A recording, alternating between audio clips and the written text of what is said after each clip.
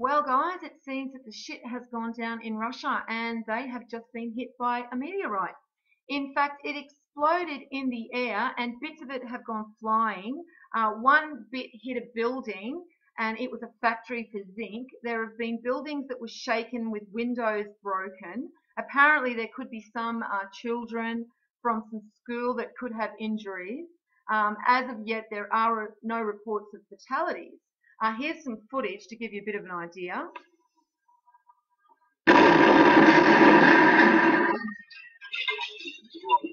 I mean, that is pretty full on.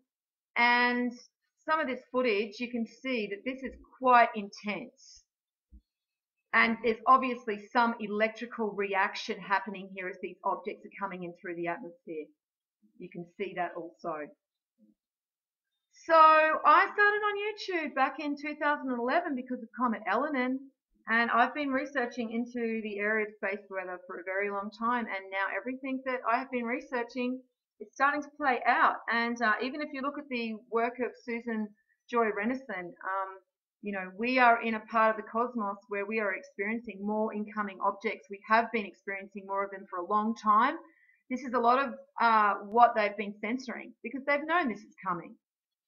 So this is going to be very interesting to see how this plays out in the psyche of the herd because this is something that's pretty undeniable.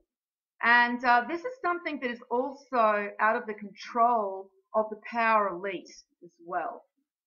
So this is going to reflect on the human psyche and this is going to reflect on everything and how it all plays out with us as well.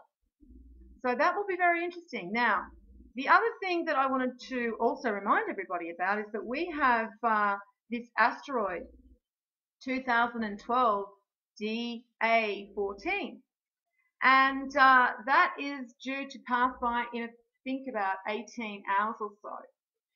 Now, once again, uh, we're probably not hearing all of the information and they are keeping information from us because I find it interesting that they really didn't make a big deal about this asteroid that obviously had travelers with it, but they made a big deal about Apophis at the beginning of the year. And this is what I actually said, if you'll go back and listen to that video, is that I thought that's probably what they were doing because I couldn't work out why they were making Apophis so doomy gloomy and went out of their way to actually name it something that was fearful. And that's because they wanted to distract us and make us look at that instead of worry about asteroid 2012 DA14, which was actually closer than Apophis and uh, obviously has bits and pieces coming with it that are hitting parts of our planet. And it seems that Russia is in the path of these incoming objects because Russia seems to uh, have them uh, on other occasions as well. Now, I will link this video underneath uh, this one because there are lots of different uh, incidents that have been filmed about the electrical interaction that these objects are having as they're coming into the atmosphere. Now, before I play this and show you this uh, electrical interaction that I'm talking about, it's interesting to note the date.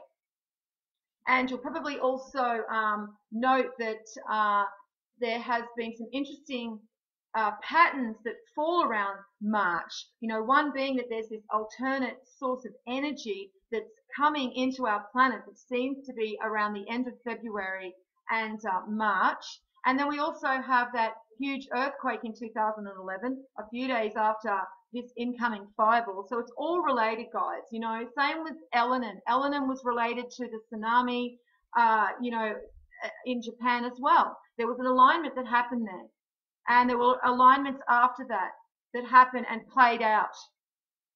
So um, there is definitely an interaction. It's electrical between these incoming objects and also um, our planet and our atmosphere. And we can see this, you know, as I said, with this footage.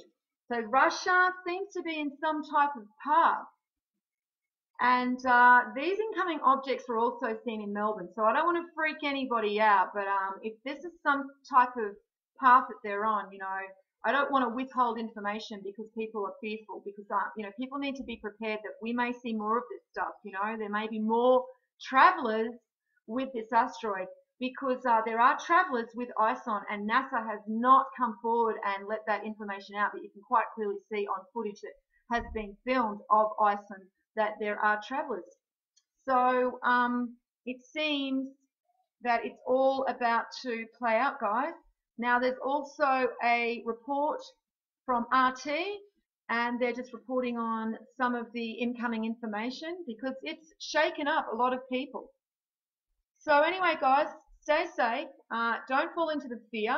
Things are playing out. We knew this was going to happen, and this is what we've been preparing for. So, you know, all of that information that we have been uh, basically processing is, you know, going to put us in a place where we can, you know, react in a way that we should. So, and that's not going into the fear. You know, you are where you are because you're meant to be. So just know that, uh, you know, if you haven't stocked up on some water, you know, probably now, and I'm not trying to freak anyone out, you know, don't go running out right now, but, you know, seriously start thinking about, you know, just maybe getting a few more supplies now, you know, because if you do see a few more of these events, you just don't know how that may panic the herd. You just don't know how these people are going to react. They've been so asleep that they're about to be woken up. And I just want to also remind everyone that this is another WebBot hit. And I have also been, you know, saying that I think we should be paying attention because Webbot seems to be getting a lot more hits lately. You know, a lot more things seem to be um, hitting with this Webbot.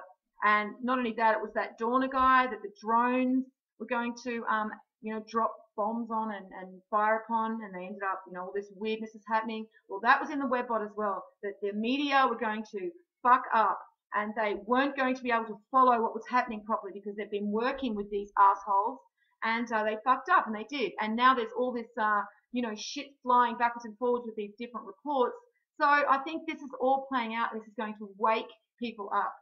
And, uh, you know, fingers crossed, I said that it was going to take something that they can't deny. And shit fallen from the heavens is something they're not going to be able to deny. All right, guys. Well, everything will be linked. So, uh, you know, stay safe and take care. And uh, as always, peace out.